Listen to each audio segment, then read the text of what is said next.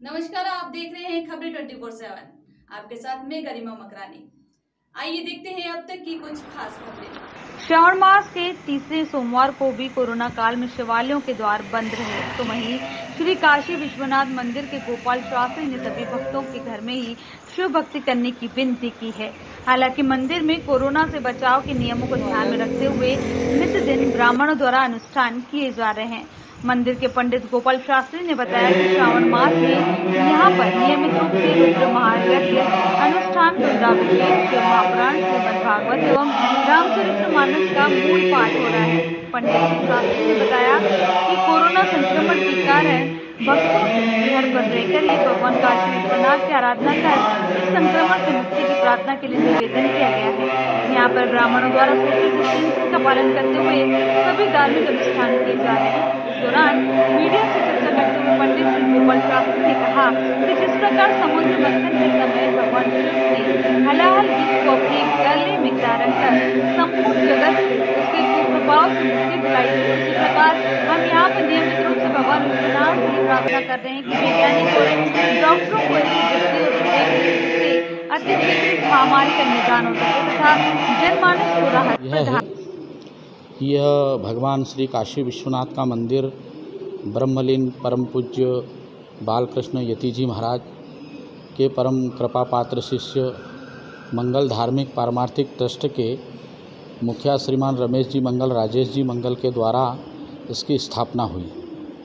और स्थापना में विशेष हर्ष इस इस बात का है कि जो है दो दो ज्योतिर्लिंग के मध्य यदि हम उत्तर में जाते हैं तो भगवान महाकालेश्वर और दक्षिण में प्रस्थान करते हैं तो ओंकारेश्वर। और दो दो ज्योतिर्लिंग के मध्य में ये भगवान काशी विश्वनाथ का मंदिर है। तमाम जब भी इधर से श्रावण का मास प्रारंभ होता है और ऐसे समय में तमाम कावड़ यात्री और तमाम आसपास के भक्त हज़ारों की संख्या में आते हैं और अपने कल्याण का मार्ग यहाँ और पुण्य प्राप्ति के लिए भगवान का रुद्राभिषेक करते हैं। भगवान का यजन पूजन करते हैं।